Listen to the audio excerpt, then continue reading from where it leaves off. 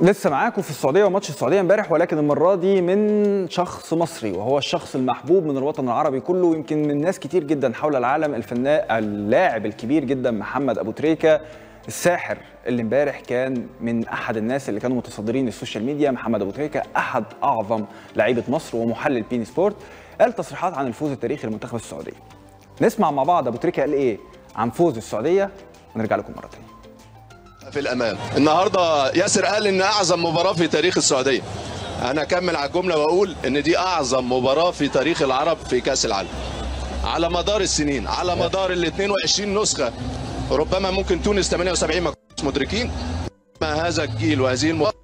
كنا محظوظين إن إحنا نشهد هذا التاريخ. كنا محظوظين إن إحنا موجودين في استاد لوسيل النهارده. لأن النهارده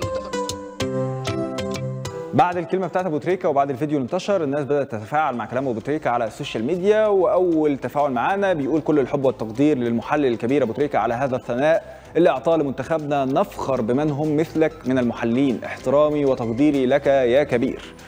تويتة تانية بتقول لن أرى لاعب أنقى وأطهر من أبو تريكة. هذا الإنسان الفريد من نوعه. عندما رأيت الفرحة الغامرة بعد فوز المنتخب السعودي فرحة لم توصف وكأن الذي فاز منتخب مصر. ومع ذلك لو فكر يذهب إلى السعودية للحج أو العمرة لن يعود قطر مرة أخرى. وكل الحب والاحترام للخلوق محمد أبو تريكة.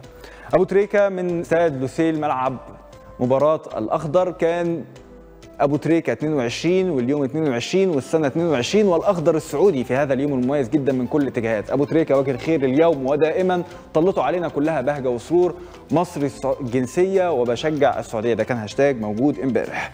برضو تعليق تاني من التعليقات الموجودة بيقول أبو تريكة أخي رحم رحم الله من رباك. يا أجدع وأنظف قلب شفناه. الله يحميك. كل الحب والتقدير ليك. برضو تعليق بيقول إزاي ممكن يكون في إنسان عاقل ما يكونش بيحب أبو تريكة. تعليق آخر بيقول مفيش حد أجمل وأسهل وأسلك من أبو تريكة.